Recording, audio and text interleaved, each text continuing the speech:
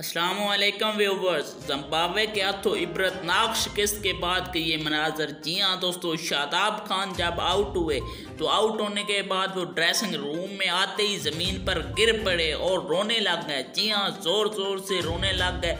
उनको रियलाइज़ हो गया था कि वो कितनी गल, बड़ी गलती कर चुके हैं। क्यों? उसके बाद ही पाकिस्तान के हाथों से मैच निकलना शुरू हो गया था जिसकी वजह से वो ज़मीन पर बैठ गया और रोने लगे। इसके बाद इंतज़ामिया ने, पाकिस्तान टीम इंतज़ामिया ने उनको उठाया और ड्रेसिंग रूम की तरफ़ ले गए। लेकिन इस बात में एक और बात भी है कि हार में सिर्फ़ शादाब खान का कसूर नहीं है, इस हार के पीछे बहुत से प्लेयरों का हाथ है।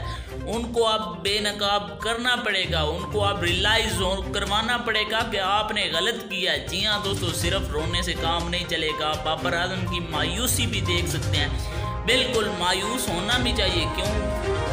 मैच जम्बावे जैसी टीम से आ रहे हैं। तो मज़ीद वीडियो में मैं इंशाल्लाह आपको बताऊँगा कि किस प्लेयर की वजह से आ रहे हैं। तो वीडियो को एंड तक देखिएगा, अगली को और चैनल को सब्सक्राइब कर लें। बहुत शुक्रिया।